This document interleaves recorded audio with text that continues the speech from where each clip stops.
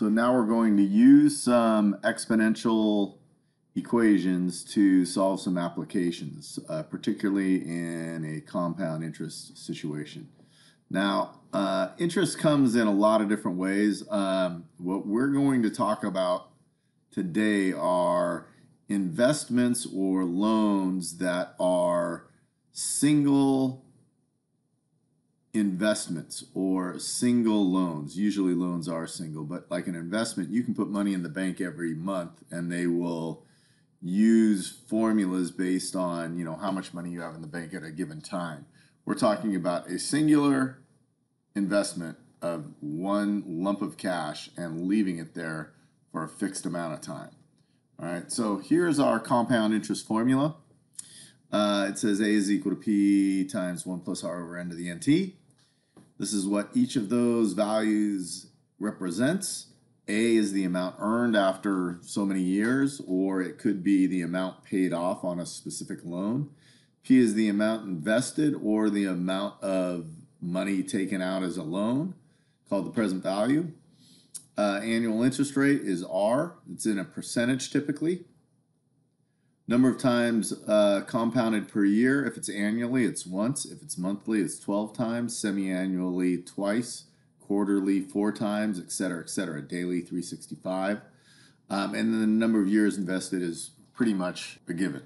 So let's do the first problem. Suppose you've got $10,000 to invest, and you're going to do that for 20 years and your interest rate's 9%, so that's 1 plus 0.09 over. It's compounded daily, 365 times in a year, and we're doing that over 20 years. This is a straight plug and chug situation.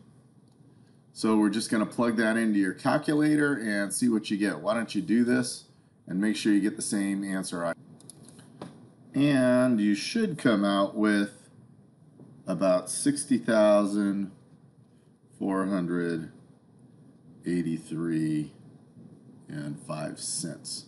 Right around there. Uh, so that's having that $10,000 to invest for 20 years, you make $40,000. Isn't too bad. All right. Uh, there's also a type of interest called continually compounded. So we talked about monthly, annual, quarterly, those are fixed amounts. Compounded continually is exactly what it says. Every millisecond of time over the period that you're taking the loan for. Now, um, doesn't make a lot of sense.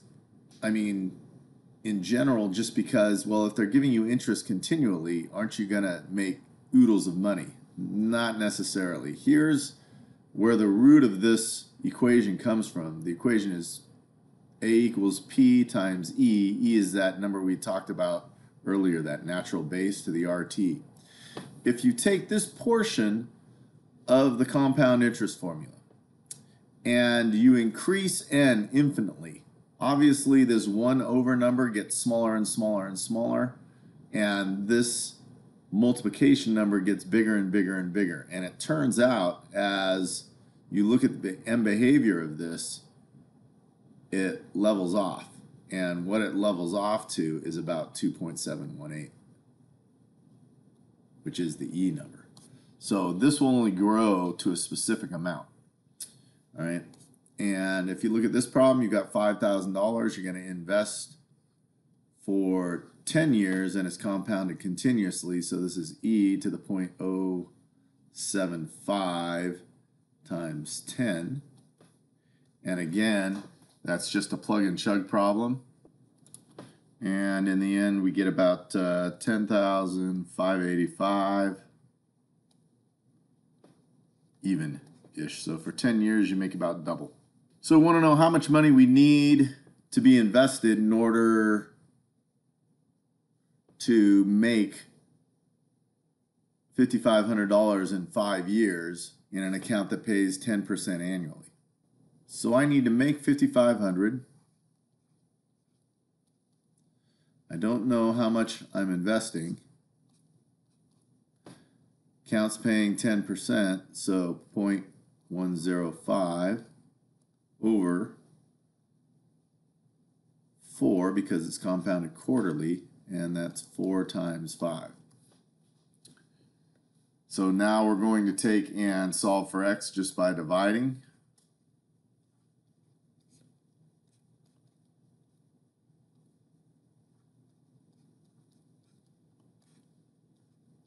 And then we just again plug and chug into a calculator.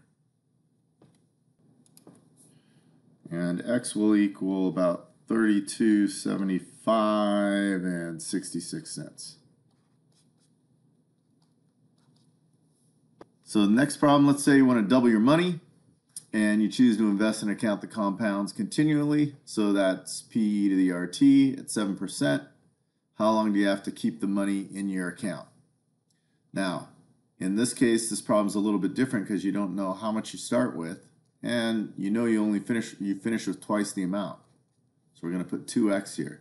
And this is E 0.07 to the t power.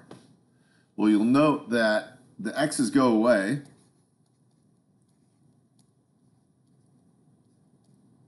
And now we've got an issue because in this case, we know that we have an unknown power. The only way to solve this at this point is by using a calculator. So, and what I'd like you to do is I'd like you to go to y equals and plug the two sides of the equation into two y equals graphs. All right, one is going to be y equals 2, and then one is e to the 0.07x.